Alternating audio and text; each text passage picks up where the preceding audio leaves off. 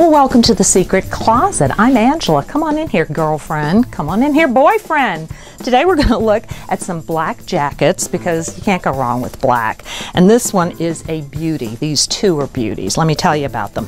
Um, this jacket is classic 40s. Remember a longer line, beautiful copper buttons marching up and down the jacket uh, and on the lapels.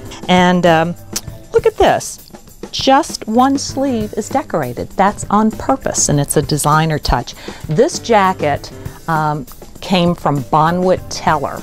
Uh, the store doesn't exist anymore, but it was a fixture on Fifth Avenue, a very high-end store.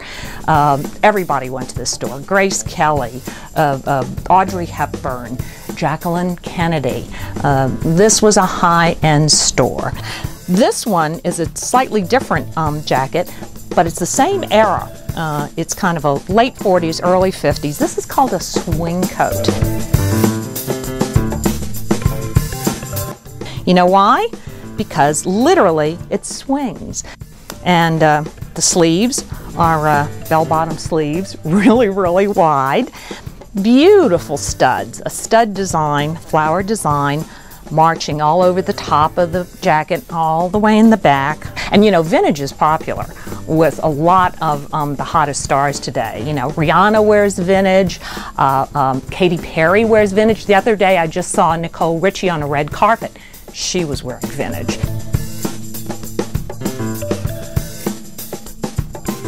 So check it out and um, come back because there's plenty more where this came from. See you next time at the Secret Closet.